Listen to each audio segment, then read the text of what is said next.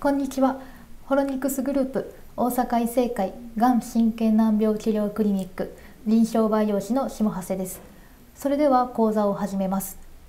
今回の講座テーマは自分の血液で皮膚を再生する多血小板血症 PRP 療法とはです。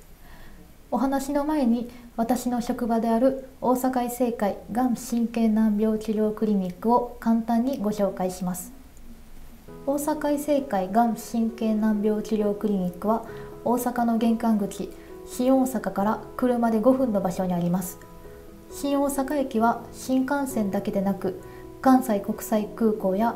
京阪神地区を結ぶ在来線の主要駅となるので遠方の患者さんも来院しやすい場所に位置しています。当クリニックはがん免疫治療の専門クリニックです。診察室の隣には細胞培養室が併設されています。細胞培養室では臨床培養士ががん免疫療法の核となる免疫細胞培養を行っています。高度な細胞培養を行う細胞培養室は厚生労働省が定めた再生医療において製造管理と品質管理に関する厳しい基準を満たしたクリーンルームです。ここでは塵や埃の正常度や24時間365日培養に適した温度湿度等を徹底管理しながら日々細胞培養を行っています。続いて細胞培養と臨床培養士とはについて簡単に説明します。細胞培養とは生体組織から分離した細胞を培養液中で増殖維持すること。つまり生物から取り出した細胞を生体外で生かし続けることです。主に生体外に取り出された細胞は研究現場と実際に患者さんを診察治療する臨床の現場で利用されています。臨床では細胞培養は再生医療の一環として扱われ患者さんの治療を目的として扱われるため明確にルール化されています。この臨床分野で細胞培養を行う培養士のことを臨床培養士と呼びます。私は臨床培養士として主に患者さんの免疫細胞や幹細胞の培養患者さんの血液から皮膚を再生する多血小板血症 PRP の生成を行っています。今回はこの多血小板血症 PRP 療法についてお話しします。それでは本日お話しする内容です。1多血小板血症 PRP 療法とは。2 PRP の抽出方法。3褥瘡治療に対する PRP 療法の実績と症例紹介。4変形性膝関節症に対する PRP 療法。5まとめとなります。多血小板血症 PRP 療法は再生医療の分野に属しています。再生医療は再生医療等安全性確保法という法律において人の生命及び健康に与える影響リスクの程度に応じこちらの3つに分類されています。スライドの一番左側第1種再生医療等に位置する iPS 細胞は2012年に京都大学の山中伸也教授がノーベル賞を受賞したことでも有名です。真ん中の第2種再生医療等に位置するのは脂肪幹細胞などの耐性幹細胞。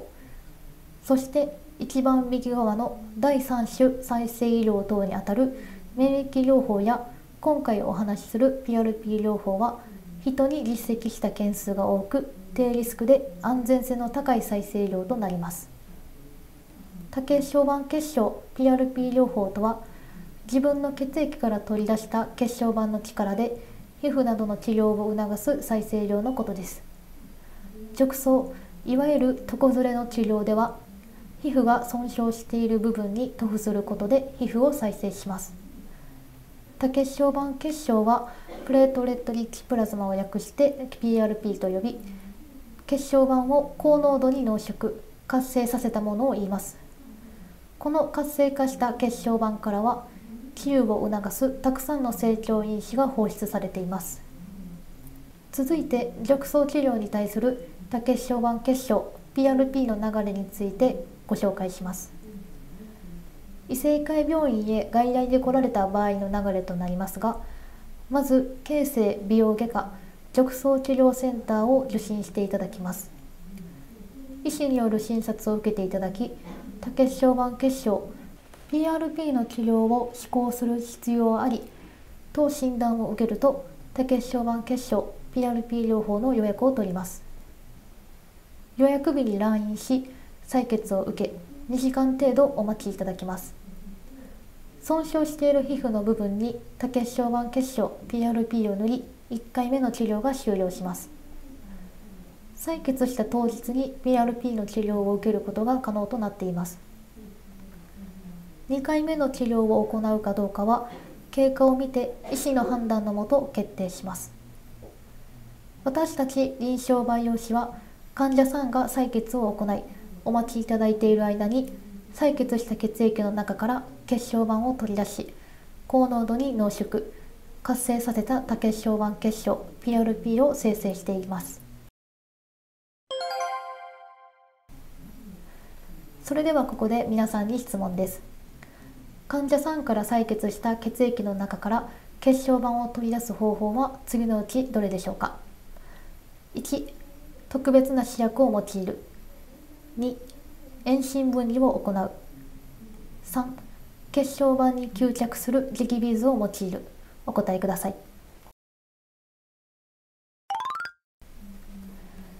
正解は2遠心分離を行うです。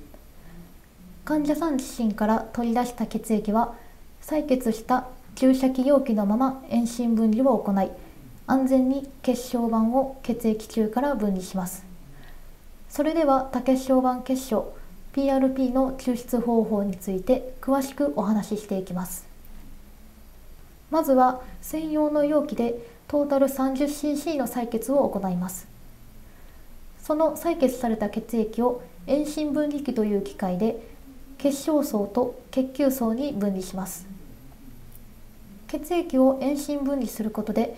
大きく分けると液体成分である結晶層と固体成分である血球層とに分けることができます。そして結晶層は血液の約55%残りの約45%が血球層という割合になります。結晶層には結晶が血球層には赤血球や白血球血小板などが主に含まれています。血小層と血球層に分離した後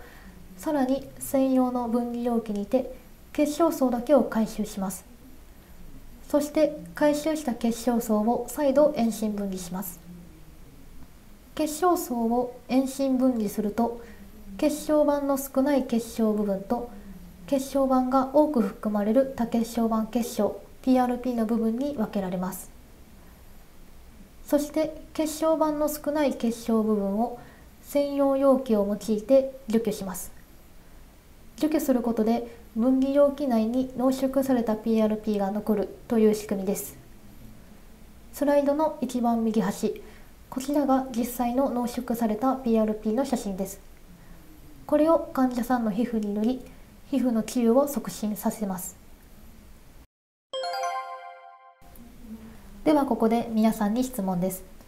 なぜ2回遠心分離をしないと PRP を得ることができないのでしょうか？1血液中の PRP の量が多いから。2 PRP が遠心分離されていることに気がつかないから。3PRP の重さが他の血球細胞と比べて中間の重さだから。お答えください。正解は 3PRP の重さが中間の重さだからです。地球には重力があるので重いものは下に沈むということが起こります。血液の中にもたくさんの物質が含まれていますので遠心分離を行うと重いものから順番に沈んでいきます。採血した血液を遠心分離すると重いものから沈んでいきます。この中で一番重いものは約45%存在する血球成分のうち約40%を占める赤血球です。そして血小板白血球と続き血液の約55%を占める結晶はほとんどが水分となっているため一番上に来ます。1回目の遠心分離で結晶層と血球層を分けることにより赤血球より上を全て回収することができます。そして2回目の遠心分離では一番軽い結晶結晶板の少ない結晶部分と多結晶板結晶 PRP に分けられます。こうして出来上がった PRP を褥瘡治療では損傷している皮膚に塗って治療を行っています。異性会病院形成美容外科褥瘡治療センターでは褥瘡治療を目的とした PRP 療法を行っています。この褥瘡治療床ずれに対する PRP 療法は2020年4月より保険適用となり再生医療の中では現在唯一の保険適用となっています。形成美容外科緑藻センターでの2021年度 PRP 施行件数は年間54件の実績がありそのうち難治性潰瘍緑藻が51件シワ治療が3件となっております。では褥瘡治療に対する PRP 療法の治療効果を実際の写真を用いて3つご覧いただきます。こちらの患者さんは当初足の右下部分に潰瘍を患い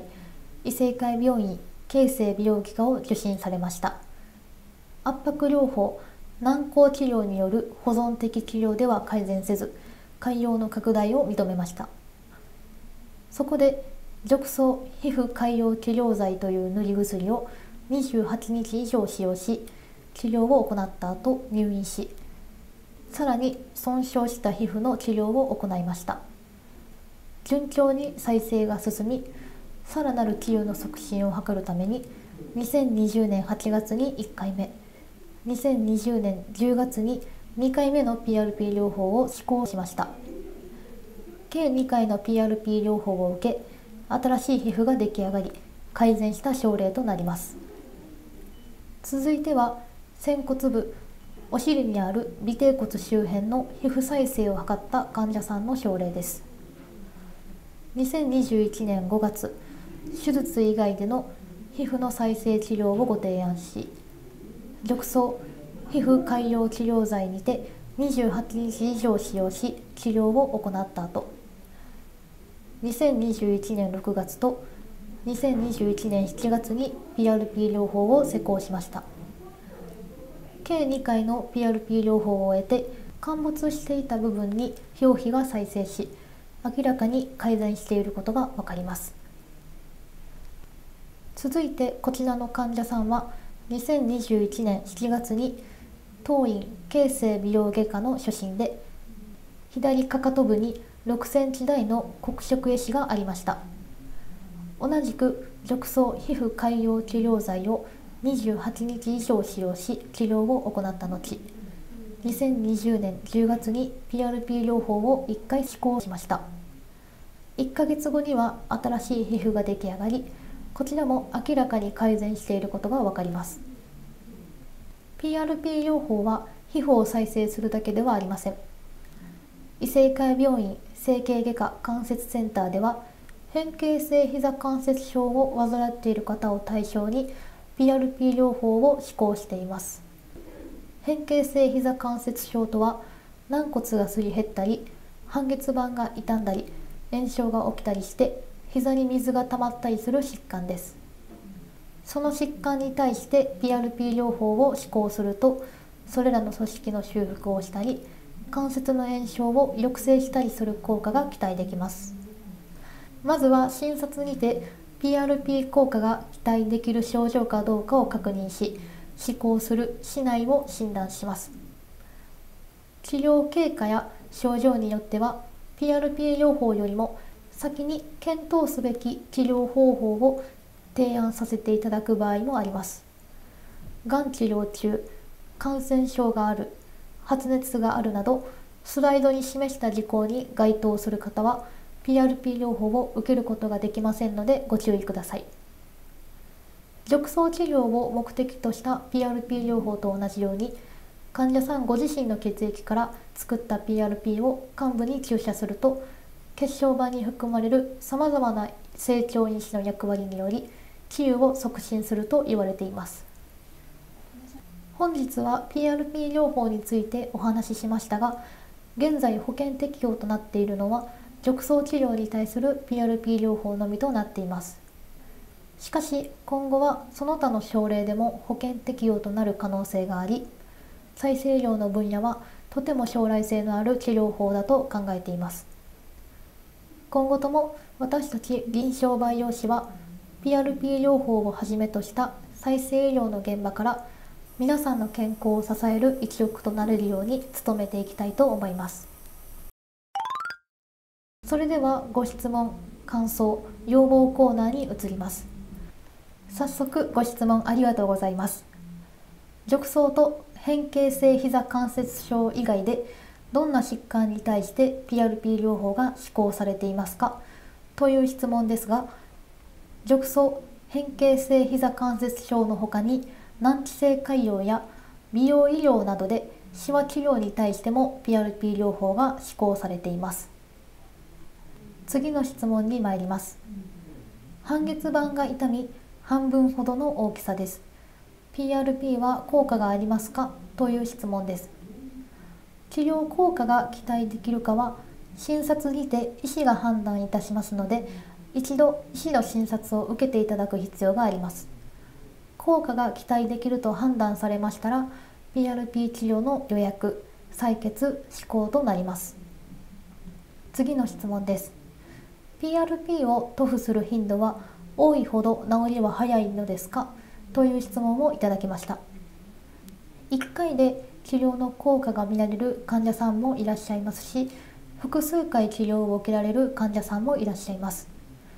すべて医師による判断で治療が進められますので一概に頻度が多ければ良いというものでもないようです。続いていただいた質問です。PRP を塗布した後してはいけないことなどありますか？という質問ですが施行直後の激しい運動入浴などは感染症等の問題から控えていただいた方がいいと考えられます。次の質問に参ります。PRP 抽出作業は臨床培養士の資格のある方しか行えないのですか？という質問です。抽出作業に臨床培養士の資格は必須ではありませんが PRP 療法は再生医療等安全性確保法という法律により行われておりますので施設が厚生労働省による第3種再生医療取扱いの認可を受ける必要があります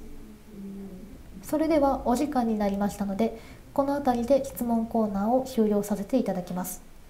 質問をお寄せいただいた皆様ありがとうございました本日のお話しした内容が皆様の日々の健康に役立つ情報であれば幸いです。本日はご参加くださりありがとうございました。シルクセリシン配合の基礎化粧品セリサススキンをぜひお試しください。